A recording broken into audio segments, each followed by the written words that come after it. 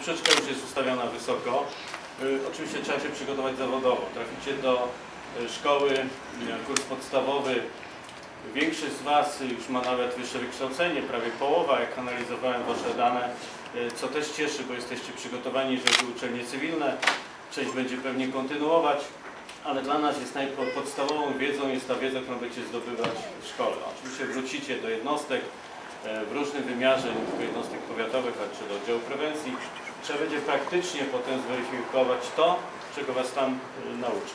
Wszystkie sprawy dotyczące techniki, obezwładniania, uczenia się posługiwania pałką, bronią będą bardzo istotne i tak one w życiu będą Wam tym policyjnym y, potrzebne.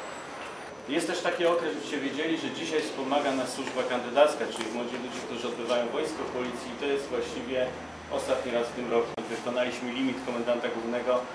No i to wspomoże że nasze działania, oczywiście zanim wrócicie trochę czasu upłynie. Czy praca policjantki jest ciężka? No, myślę, że tak, ale trzeba sprostać e, trudnościom. To zawsze było moje pragnienie.